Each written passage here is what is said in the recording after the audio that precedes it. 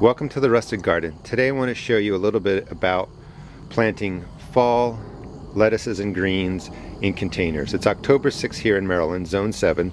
I planted these greens and the radishes actually around September 1st.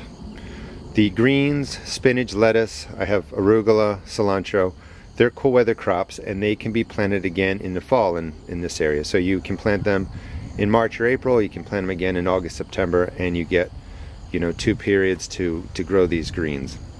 I'm overplanted. I overplanted the seeds. They're growing in containers, and I will keep some of the plants in here. I'm also going to transplant some of them out into the garden, and I'll show you that process.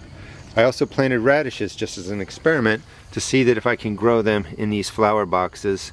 There are round radishes and long stem radishes, which are more like carrots. And you can see that they're a little bit yellow, so they're going to get some liquid fertilizer. I'm going to transplant some of these over and I'll show you that process and tell you a little bit more about container gardening in the fall. This is a new raised bed that I added to my garden. If you want to find out more about raised beds, you can check out my YouTube video channel. I'll show you how to construct them. I made this one actually 12 inches high and stocked it with new dirt. And I did that basically to keep the rabbits out of my green leafy vegetables. So you can see I fully planted it and it all came out of the buckets or the containers of my greens. I transplanted uh, red romaine, arugula, I think that's uh, black seeded Simpson spinach, and some loose leaf red back there.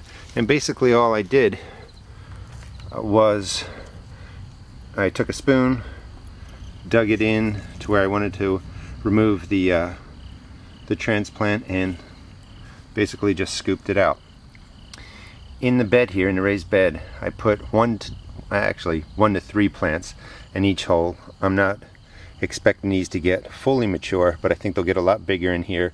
And with one to three plants per space, I'll have a lot of leafy greens I can pick for a salad. So when you are in Maryland or you're in areas that have two cool seasons, spring and fall, you can plant leafy greens twice. And again, I planted spinach, lettuces, arugula, and cilantro. You can do them in containers, you can overseed them to get baby greens, you can space them out in a raised bed, but you definitely can get two growing seasons out of your cool, cool weather vegetables. If you enjoyed this video, please check out my blog at www.therustedgarden.blogspot.com and check out my YouTube videos. I near, now have uh, over 90 garden videos. Thanks.